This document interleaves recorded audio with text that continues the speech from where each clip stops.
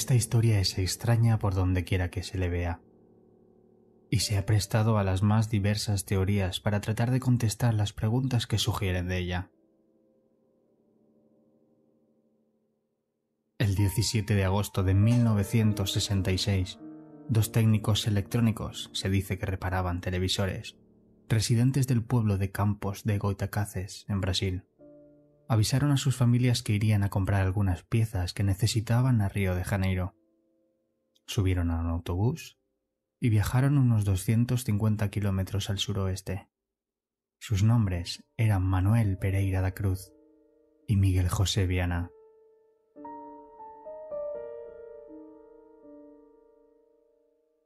Tres días después, un joven de nombre Jorge da Costa Alves se encontraba volando un cometa en una colina cerca a Río de Janeiro, cuando para su sorpresa hizo un macabro descubrimiento. Semienterrados, con malezas, halló los cuerpos sin vidas de Manuel y Miguel José. Jorge corrió a buscar un teléfono y a notificar a la policía. Los cuerpos no mostraban ninguna seña de violencia física. Ambos hombres visten trajes e impermeables Junto con los cuerpos, los oficiales de policía descubren una serie de objetos que llenan de más misterio la muerte de los técnicos. Primero, ambos cuerpos tenían puestas una especie de máscaras de plomo, que ellos mismos habían confeccionado en su taller, cubriéndose los ojos. 2. Una libreta con dos anotaciones. La primera dice 16 y 30. Estar en el lugar acordado.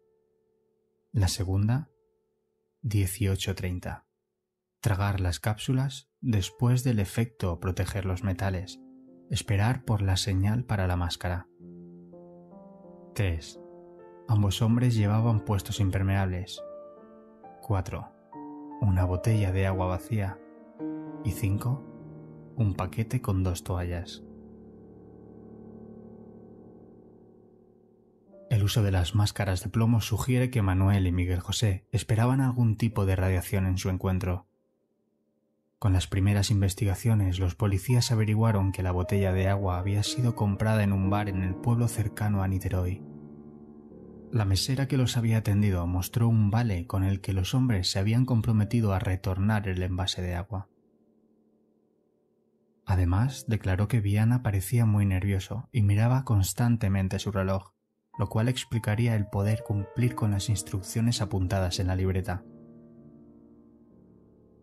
Y si firmaron un papel comprometiéndose a devolver el envase de agua, es porque esperaban regresar del viaje a la colina. El agua que utilizaron, muy probablemente para ingerir las cápsulas. Pero tanto los impermeables como las toallas permanecen como enigmas de la investigación. No se encontró ninguna cápsula y la autopsia no pudo revelar ningún envenenamiento. No porque no lo hubiera, simplemente porque en un descuido y con la cantidad de trabajo de los forenses, los órganos fueron puestos en un lugar donde se descompusieron rápidamente, haciendo imposible poder hacer ningún examen toxicológico en ellos.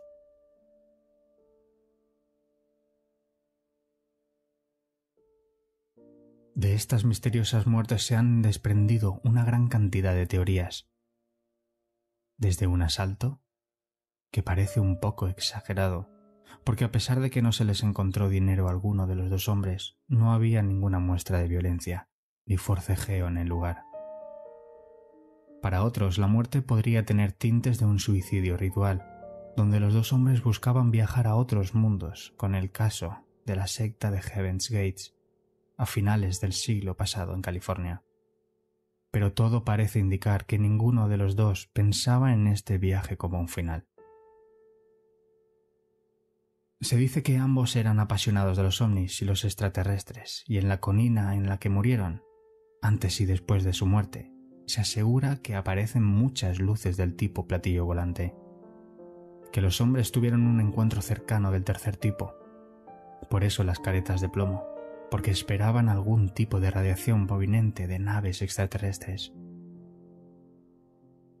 Y se pone como una de las más claras muestras de esto, que hasta la fecha la hierba no crece en el lugar donde fueron encontrados los cuerpos. Pero también existe la teoría de que la sustancia utilizada para detener la descomposición de los cuerpos contaminó de manera muy severa dicha área.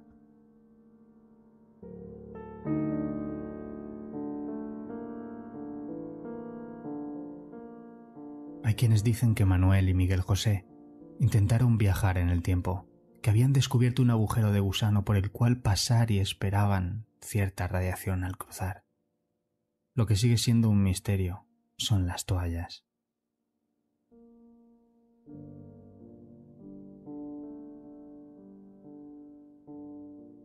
Tomaron por cierta algunas explicaciones de algunos dementes que sugirieron que Manuel y Miguel José tomaron por verdadera la novela de Douglas Adams, La guía del autoestopista intergaláctico, donde se dice que para viajar en el espacio es necesario llevar toallas, lo que es más que ridículo e imposible porque el libro aparecería en su versión en inglés más de 10 años después de la muerte de los técnicos.